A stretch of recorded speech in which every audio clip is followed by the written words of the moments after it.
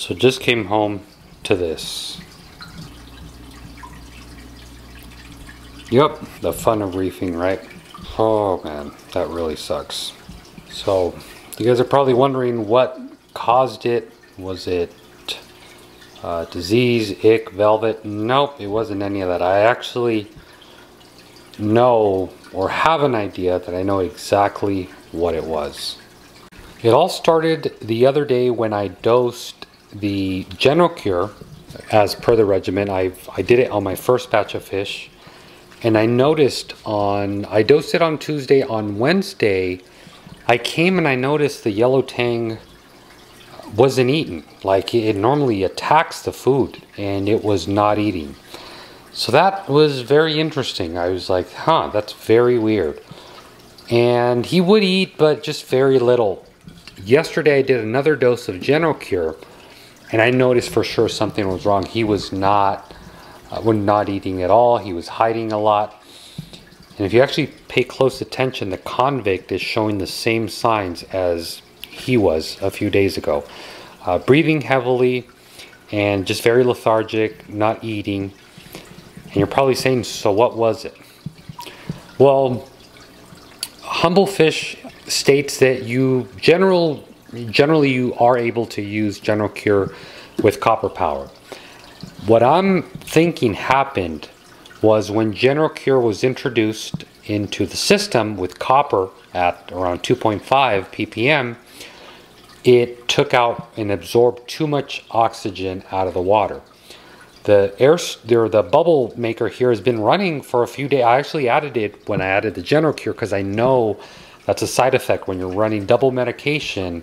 Oxygen really uh, gets depleted within the system with that, again, I can't guarantee it, but I think that's what was the issue. And it really gets me upset. Um, you know, I mean, it, it's, it's something I wouldn't have learned without going through it, but still it gets me upset because it did not need to happen. I, I don't know.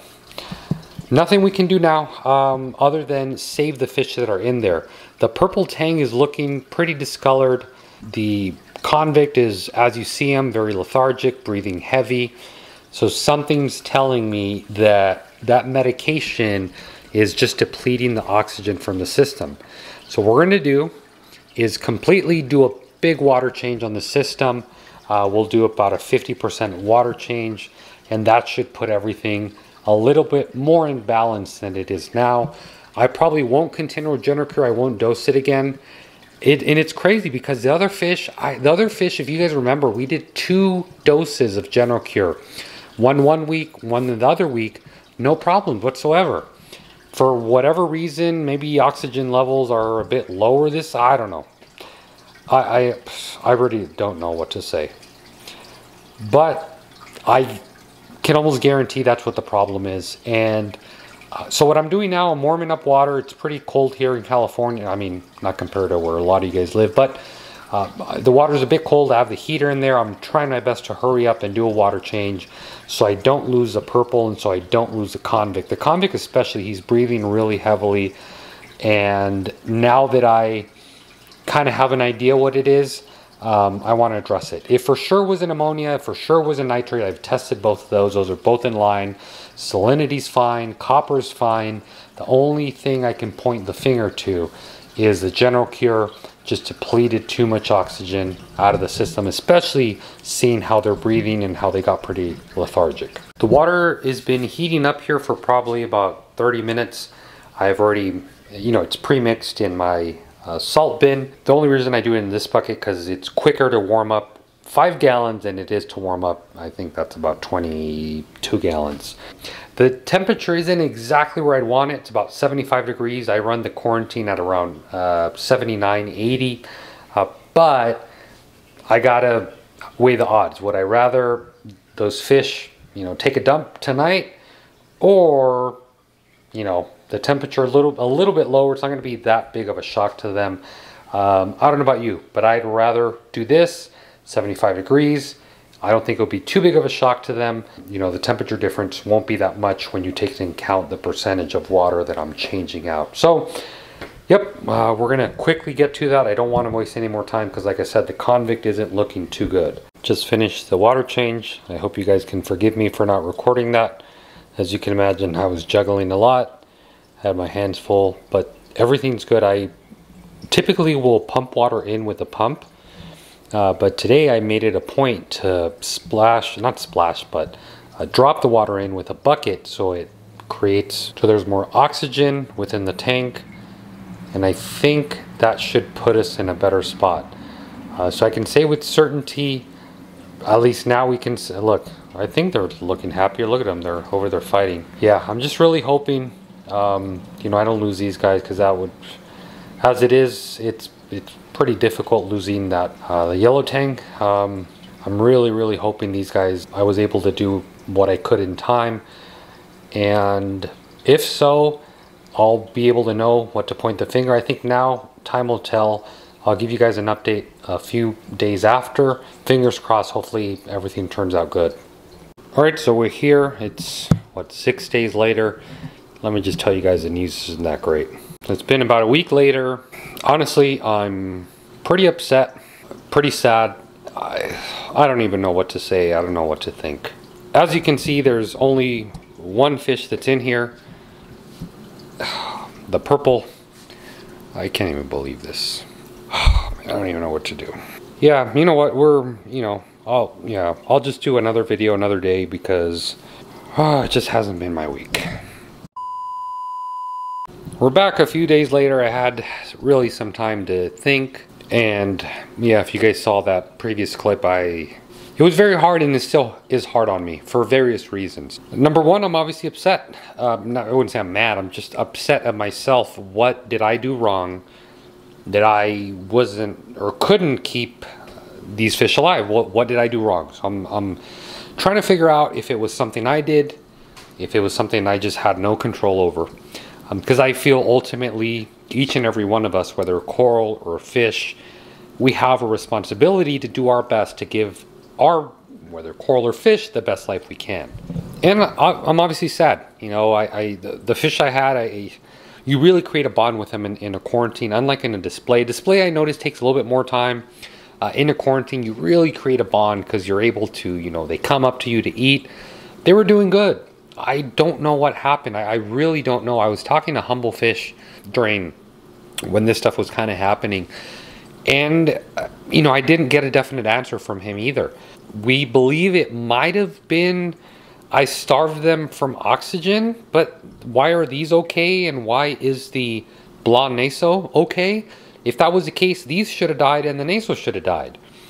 So originally where I thought it might have been my fault, I don't I really don't know if it was my fault. I, I can't say confirm nor deny as they say whether it was something I did I originally thought the general cure caused it by bringing down the oxygen levels, but it doesn't make sense. There's an, you know, there's bubbles, there's oxygen flowing in there. I don't know. I really don't know. For you guys wondering the symptoms I noticed, uh, the fish were eating, they were fine. Then they slowly stopped eating. They slowly started getting really skinny really quick, and they slowly started to become more lethargic, not eat, not swim. And one thing I really noticed, they were breathing very heavy. So that tells me it had something to do in their gills, but then again, we had copper in here. Shouldn't that have killed everything? I mean, I'll be honest with you guys. One side of me is saying the hell with this whole quarantining thing. I'm just going to start throwing the fish inside the tank and do the way, you know, we're all doing it. But then the other side of me says, look, you can base one experience at least one bad experience and have that dictate the rest, the rest of my reefing experience. But I think what, what throws me off, what's the frustrating part about this is that I don't know what happened. Because at least by me knowing what happened, I can fix it to make sure it doesn't happen again. The fish showed no spots, no fin, no, none of that. Nothing like that. I, nothing I could see, at least with my eyes on the exterior from going great to going south really quickly. Now, I know some of you guys may say velvet, but given these fish were in copper for, I think when I first started noticing the problem, was two and a half weeks into the treatment. So, You know, it's really difficult. I, I, I really hate when this happens. I'm, I'm still pretty saddened by it. What are the plans now? What are we going to do? Well, I don't think I'm going to add fish uh, just for a little bit. I'm going to gain my ground again, do more research, try to find an answer. Maybe someone watching this video that does quarantining that uses the meds I use like Copper Power and General Cure, or maybe you see something clearly that I'm missing as to what could have caused it. Uh, you know, maybe you guys can enlighten me, can give me something, some glimpse of what it could have been to make sure I don't have this happen again. So, yeah, I mean, all I'm all I can do now is is is move on learn as best as I can. I mean, I don't know what I'm going to learn at this point. I really hope someone can enlighten me. And it sucks. It really, really, really sucks. On the brighter side of things, I figured we'd end this with a good note. Just if you guys caught it in the video, the only survivor was the blonde naso. So the blonde naso, I didn't allow him to go through the full 30 days. I cut it a little bit short, but long enough to eradicate almost everything, or at least that's what I hope. Um, because again, I, I, I just didn't want to. I don't know. I really don't know what my thought process was. I just figured if I put him in here where I knew everything else was happy, we should be good. Now that could have been a bad call, obviously, if it was something, but I was. I really didn't feel there was a parasite on them because the copper for that amount of time should have eradicated it. So luckily it's been oh, what close to a week he's been in here. He's very happy. I'm, you know, I couldn't save them all. I uh, trust me, I would have done everything in my power. I mean, I did try everything. If you guys would have seen the amount of water changes I was doing, and, and, and it was crazy. It was a few long nights because I did not want to lose those fish. I, I just feel so guilty. I guess you know, I'll, I'll, you know, we'll live and learn. But I'm happy I was able to save this one. He's doing great. He's eating great. He's swimming with everyone. So I'm at least happy that we were able to save one of them. So I, although I'd really love to have a takeaway for you guys, I can honestly say in this video, I don't think there's a takeaway because I really don't have an answer. I can honestly tell you I don't know what, still to this day, what caused it. I still don't know how I can avoid it. Um, I'm really hoping that through these videos we can all learn together and someone in the comments could give me some guidance as to if you've had the same thing, maybe this can be avoided in the future uh, because I have four fish that went through the same exact treatment, literally by the book, that showed no signs of that. So, why is it that the second batch of fish showed issues? I tested ammonia, I tested nitrate, I tested copper. I mean, I, I tested everything, and, and nothing to me was alarming you know, I'd, I'd really love to end this video on a better note, guys, but I really had a long thought process in regards to this video. I said, should I make the video, post it out there? But then I also figured there's a lot of people watching this video and watching my series that if I don't show them this, they're to think that someone like me everything's fine and dandy and there's never any issues, right? And we just have a perfect world. But that's not the case. I go through the same issues that a lot of you guys go through. And to be honest, I'm still learning. I don't feel I know it all. I'm nowhere close to knowing it all. And I'm still, prime example, what happened with me, I'm still learning to this day. So guys, I'm gonna leave this video here. Like I said, I really hope and wish I was you know a little bit happier. But I mean, with such a, a big loss of fish in a really short amount of time, you know, I can honestly say I tried my best. I did everything I could in my power uh, to try to save them, and uh, it obviously didn't work. So we're gonna leave that video here, guys. I uh, really hope, well, I don't hope you enjoyed it, but um, that's gonna be it. I hope someone, anyone, is able to leave. Um, good comments, comments that can help us all get better from this. More importantly, try to narrow down what happened. I'd really love to hear down in the comments if you've been through a similar issue or know of someone that has.